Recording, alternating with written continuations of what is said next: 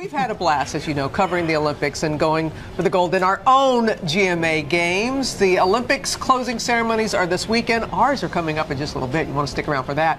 Joining us now to say goodbye to Sochi are two women who have done an incredible job yeah, covering the games.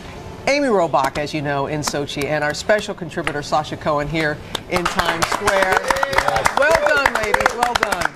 Hey, Amy, uh, I'm going to get prepared for the Oscars. Who are you wearing right now? Uh, Ralph Lauren. It's uh, what everyone's going to be wearing if you're a United States citizen, at least at the closing ceremonies. This is the pea coat. I've got a lovely scarf here and a beautiful turtleneck sweater, so I can tell you they're going to be nice and toasty in the closing ceremonies. but it looks great. Ralph it Lauren sure did does. A, Ralph Lauren did a great job yes. with both both of the outfits this year. Uh, Amy, um, so looking ahead then to what we're going to see this weekend, I, it's fair to say I think nobody really knew what to expect from the opening ceremonies. Remarkable things there. What can we expect uh, this weekend?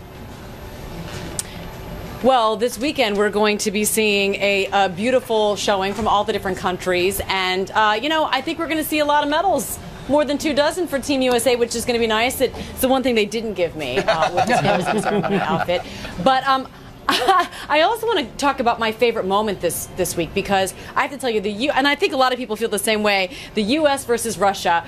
The next best thing to actually getting a seat there in the Bolshoi Ice Dome was in my hotel room because we had the whole crew come in. We all watched it together, screaming, biting our nails. It was a blast. And I think that's the, the takeaway moment for me uh, covering these games was just that fun, fun moment for all of us rooting on Team USA. Hey, you've done a fantastic job. Yeah. Safe journey back home, yes, our please. friend. We can't wait to see you. Sasha, what about for you? What, Top moment.